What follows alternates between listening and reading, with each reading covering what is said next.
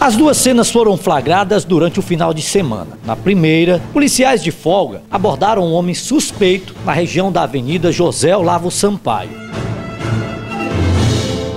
Com arma em punho, os homens que fazem parte da Rotem suspeitaram do indivíduo que estava em frente a um supermercado. Nos primeiros levantamentos, foi identificado que a moto na qual o suspeito estava tinha registro de furto e que, possivelmente, o homem realizaria assaltos na região. O segundo caso aconteceu aqui nesta rua do bairro Paranoá. De acordo com informações, um policial municipal se encontrava aqui na calçada falando ao celular, quando o assaltante passou pela rua em uma moto pop.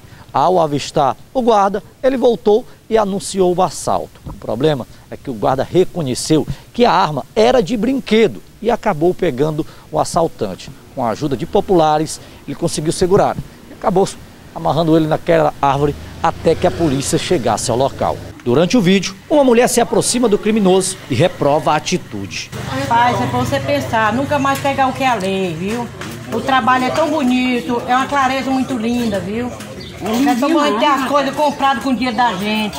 Não viver avançando nos outros para conseguir um celular. Os dois indivíduos que não tiveram a sua identidade revelada foram encaminhados para a 13ª Delegacia Regional de Presidente Dutra.